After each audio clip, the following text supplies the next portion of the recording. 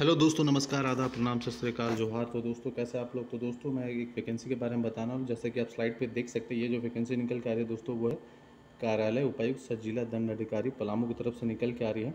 तो ये जो वैकेंसी है, बाल संरक्षण सेवाएँ सी के अंतर्गत जिला स्तर पर समय संविदा के आधार पर यह नियुक्त की जाएगी। तो दोस्तों, आप लोग वीडियो के अंतिम तक बने रहे, इसमें सारी डिटेल बताई जाएगी आपको, इस कौन कौन सी पोस्ट है, इसकी क्वालिफिकेशन क्या है इसको अप्लाई कैसे करनी है, और दोस्तों इसकी लास्ट डेट क्या होगी। तो दोस्तों, आप लोग पूरा वीडियो देखें, तभी आपको सारी डिटेल पता चल सके। और दोस्तों, अगर हमारे चैनल पर नए हैं, चैनल को ज़रूर लाइक से सब्सक्राइब कर दे। तो हम लोग चलिए, ज़्यादा टाइम न लेते हुए देखते हैं डिटेल की ओर।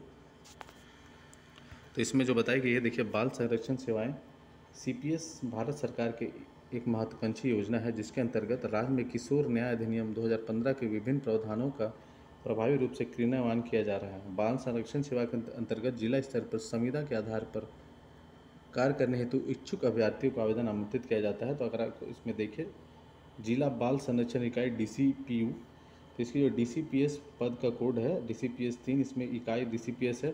तो इसमें पद का जो नाम है, वो हम लोग देखते हैं। जिसमें जो पद का नाम है दोस्तों, वो है आपकी बाल संरक्षण सॉरी दोस्तों, संरक्षण पदाधिकारी गैर संस्थागत देखरेख। इसमें कुल एक पद है, उन पैंतीस, तीस से फोर्टी फाइव ईयर्स इसकी है। मांगी गई है तीस से फोर्टी फाइव ईयर्स की। भुगतान राशि इक्कीस हज़ार रुपये इसकी मासिक मानदेय दी जाएगी। तो इसमें शैक्षणिक योग्यता जो है वो देख लेते हैं। सामाजिक कार्य, मनोविज्ञान, समाजशास्त्र, में स्नातकोत्तर की डिग्री किसी मान्यता प्राप्त विश्वविद्यालय संस्थान से। M B A P G D A P G D B M P G D P G D M P G D R D E अतिरिक्त योग्यता होगी तो आप अप्लाई कर सकते हैं। तो कार्य अनुभव दोस्तों, इसमें क्या बताइए बाल कल्याण, बाल संरक्षण के क्षेत्र में कम से कम तीन वर्ष का अनुभव। अनरक्षित एक सीट है दोस्तों। और इसमें दोस्तों दूसरी जो है D C P S four इसमें देख सकते हैं डी सी पी एस इसमें विधि सा परिवीक्षा पदाधिकारी, इसमें एक सीट है, तीस से पैंतीस forty five years qualification same है दोस्तों। इक्कीस हज़ार इसकी मासिक मानदेय है, तीन वर्ष का अनुभव होना चाहिए, बाल कल्याण या बाल संरक्षण में आरक्षित सीट है अनारक्षित सीट एक है। D C P S six इसमें डी सी पी एस है, सामाजिक कार्यकर्ता दो दो सीट है, तीस से फोर्टी फाइव ईयर्स चौदह हज़ार इसकी मासिक मानदेय बताई गई है क्वालिफिकेशन सेम है दोस्तों। और इसमें एक चीज़ में है सामाजिक कार्य या समाज शास्त्र में स्नातकोत्तर की डिग्री किसी मा, सरकारी मान्यता प्राप्त विश्वविद्यालय संस्थान से M B A P G D B A या P G D B M या P G D R D अतिरिक्त योग्यता होगी तो आप अप्लाई कर सकते हैं। बाल विकास एवं काउंसलिंग के क्षेत्र में कम से कम दो वर्ष का अनुभव वाले लोग अप्लाई कर सकते हैं। काफ़ी अच्छा मौका आप लोग अप्लाई ज़रूर करें। अनरक्षित की एक सीट है अनुसूचित जाति के लिए। आरक्षित एक है। और D C P S seven इसमें लेखापाल की है सीट। लेखापाल, एक सीट है, चौदह थर्टी से थर्टी फोर्टी फाइव ईयर्स की इसकी मांगी गई है। थर्टी से फोर्टी फाइव वर्ष वाले लोग भर सकते हैं। इसमें चौदह हज़ार इसकी मासिक मानदेय बताई गई है। अनरक्षित एक सीट है। और वाणिज्य में स्नातक, कंप्यूटर में दक्षता, टैली का ज्ञान, सरकारी मान्यता प्राप्त विश्वविद्यालय संस्थान से M come M C A अतिरिक्त योग्यता होगी तो आप अप्लाई कर सकते हैं। इस सरकार और इसमें एक्सपीरियंस जो मांगी है, सरकारी संस्थान इसमें जो बताई गई है, सरकारी संस्थान, लोक उपक्रम मान्यता प्राप्त संस्थान से न्यूनतम तीन वर्ष का लेखाकार का अनुभव, अनरक्षित सीट एक है। तो और इसमें जो है दोस्तों D C P S seat इसमें देख सकते हैं, आंकड़ा विश्लेषक थर्टी से थर्टी फाइव वर्ष इसमें मांगी है, चौदह हज़ार मासिक बांधे, एक सीट है दोस्तों।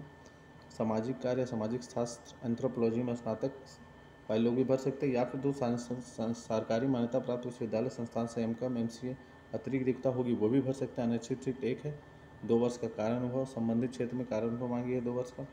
और आउटरीच कार्यकर्ता तो इसमें दो सीटें हैं। जैसे कि आप देख सकते हैं, आउटरीच कार्यकर्ता दो सीटें D C P S ten है, इसकी पोस्ट कोड, और दो सीटें हैं। इक्कीस से थर्टी फाइव वर्ष वाले लोग भर सकते हैं। तो इसमें जो मासिक मानदेय है, आठ हज़ार इसमें बताई जा रही है। प्रवेशिका उत्तीर्ण होनी चाहिए इसमें। दो वर्ष का अनुभव, अनिश्चित के लिए एक सीट, अनुसूचित जाति के लिए एक सीट है। और बार कल, बाल कल्याण समिति सी डब्ल्यू सी एक में, दोस्तों, सहायक साथ डाटा एंट्री ऑपरेटर में एक सीट है। इक्कीस से थर्टी फाइव वर्ष बताई गई है। नौ हज़ार इसकी मासिक मानदेय बताई गई है। थर्टी फाइव वर्ड्स प्रति मिनट की स्पीड होनी चाहिए। बी सी एम सी अतिरिक्त योग्यता वाले लोग, सारे लोग भर सकते हैं, स्नातक वाले लोग भी भर सकते हैं। सरकारी संस्थान, लोक उपक्रम में मान्यता प्राप्त संस्थान से न्यूनतम तीन वर्ष का कंप्यूटर कार कार्यालय कार अनुभव होना चाहिए अनर्क्षित एक सीट है। और इसमें जैसे किशोर न्याय बोर्ड, इसमें जे जे बी वन। तो इसमें जो है, दोस्तों डी सी पी एस में है इसकी। और उसमें सहायक सा डाटा एंट्री ऑपरेटर एक सीट है, नौ हज़ार इसकी मासिक मानदेय बताएगी, एक से पैंतीस वाले लोग भर सकते हैं, क्वालिफिकेशन सारे सेम है।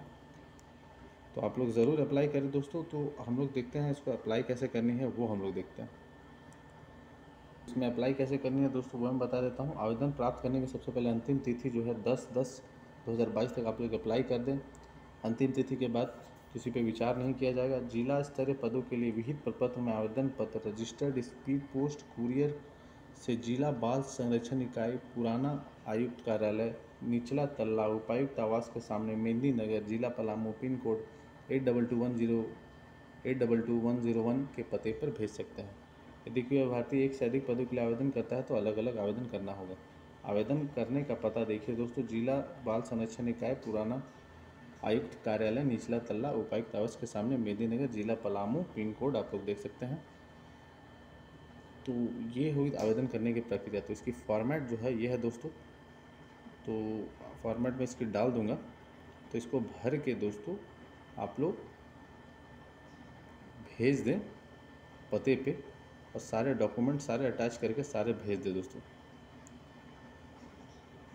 तो आप लोग को कोई भी परेशानी हो तो ज़रूर आप लोग दोस्तों कमेंट सेशन पे कमेंट करें। आप लोग को ज़रूर बताई जाएगी दोस्तों।